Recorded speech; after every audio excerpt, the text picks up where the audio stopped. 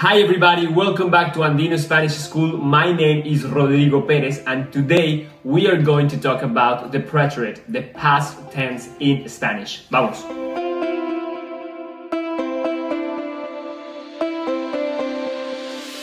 First of all, the preterite in Spanish is the equivalent to the past simple in English. I walked, yo caminé.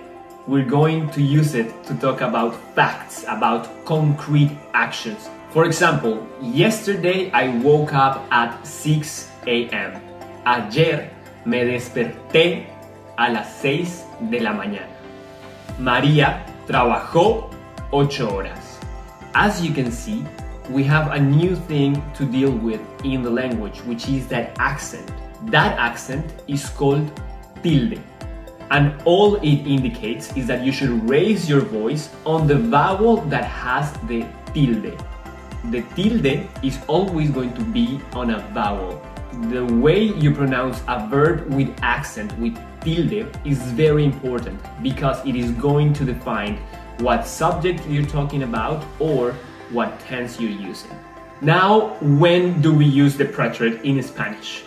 We have four specific cases when we're going to use the preterite.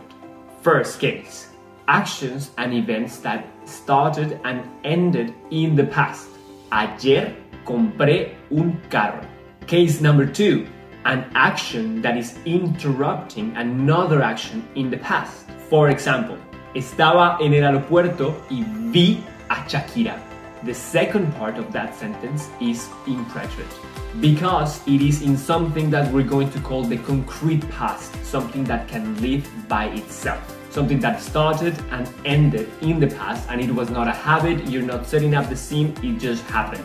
And you can easily say, Yo vi a Shakira. And that sentence can live by itself.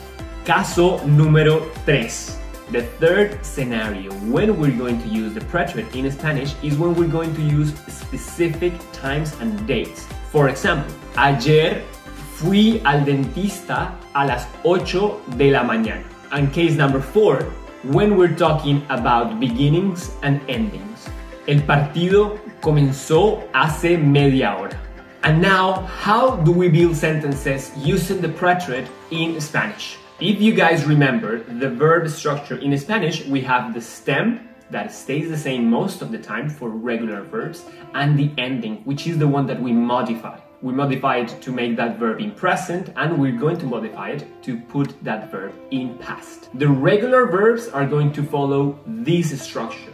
So for an AR ending verb like caminar, yo caminé, tú caminaste, ella caminó, nosotros caminamos y ellos caminaron. Notice that the ER and IR endings are the same. So there's basically only two rules, AR and the other rule for the other two. But what if we're talking about irregular verbs? Verbs that, like in English, the irregular verbs follow their own rules. And there is a very important thing for you to know. That is that both the verb ser and the verb ir have the exact same conjugation in preterite. Other verbs like dar, to give, or saber, to know, are also irregular. We have created a list of irregular verbs that you can go and check out and download for free in andinospanishschool.com slash learn. Now, let's learn how to deal with reflexive verbs in preterite. As you know, a reflexive verb ends in SE in its infinitive form, like for example, to wake up. The first thing that we're going to do is take care of that SE at the end. And we are going to do that by putting the reflexive pronoun before the verb that matches the subject that we're talking about. And then we're left with an AR verb in this case. And now we apply the rule that we have learned. Yo me desperté. Now let's practice. Let's do affirmative sentences, negative sentences, and questions. Ella corrió 10 kilómetros ayer. Carlos trabajó 14 horas. Nosotros fuimos a India. Ella no corrió 10 kilómetros. Carlos no trabajó 14 horas. Nosotros no fuimos a India. Ella corrió 10 kilómetros. Carlos trabajó 14 horas. Fuimos a India. And that's it for today, guys. Thank you so much for being here.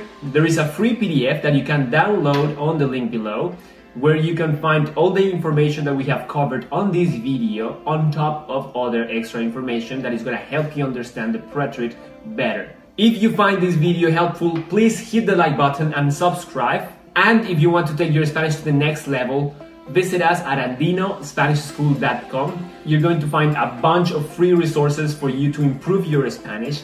And if you want the help and the guidance of a Spanish native speaker to take your Spanish to the next level and improve even faster, go ahead and book a lesson. Mucha suerte con tu español y nos vemos en el próximo video. Chao.